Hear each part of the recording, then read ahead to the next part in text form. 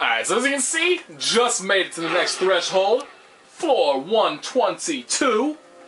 And I am going to go blow up the stuff that's in the middle and then continue onwards. I think I might actually potentially be able to make it to the top today. Not like the top of the actual um, tower, but the top, like the, the highest I can get right now.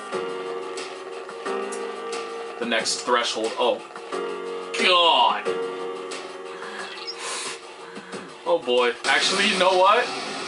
We're also gonna get to see a special little, potentially a special little trick No, that's about to be in store for these motherfuckers. give me a sec. Thunder Call.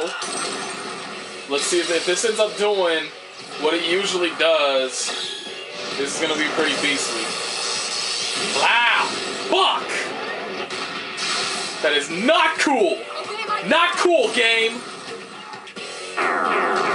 Well, what usually occurs there is that, um. I'm sad now. Uh, usually. All three of them using mind charge. God damn, that is not good. This thing won't give up.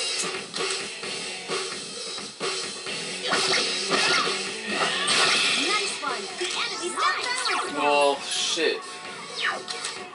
Typically, what would occur there with that skill is it does a decent amount. It does a decent amount of damage. Number one, but number two, it also paralyzes the enemies. Oh my God, woman! If you do this right, I will love you forever. Oh! Oh! Do it! Do it! Fuck these bitches up! That's what I'm talking about! That's how we do here, Mitsuru! Good shit! But that stuff paralyzes the enemy. That thing paralyzes. God damn! The shadows are getting stronger. Okay then! Good shit! What that does is it paralyzes the enemy, and when an enemy is paralyzed, you.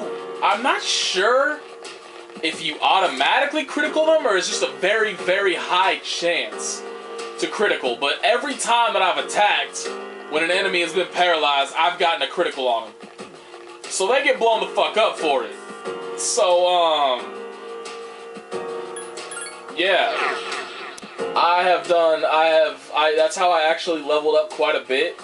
Was just from finding like the special enemies that are like. I mean, you know, you have um enemies that are considered stronger than the normal enemies. They kind of have that red. They have that. They glow red. Um, and most of the time, Elizabeth has a quest for them where you get items from them if you beat them, and then you bring you know a certain amount of items to Elizabeth. But the enemies that were on this level, they were given like I want to say it, usually I think on average from the levels that he's been getting so far, he, he's been leveling up around the character's been leveling up around 8,000 experience per level. Those dudes were given about 1,600 each time I beat them. So like, and I was beating them hella easy because I just used, I just used that attack that I did that paralyzes them and then turn on rush and then they crit them. Two crits from other people they, and one of them would be dead. And then, you know, crit and then a rush from the other people and then they'd be dead. So, yeah. But now I'm gonna continue on. See if maybe, see, they're all scared they're all scared of me because I'm using, as you can see, Thor is kind of a high level. He's level 53. Thor's blowing on the fuck up, and they scared of me because I'm using Thor. But yeah, shit's going well now.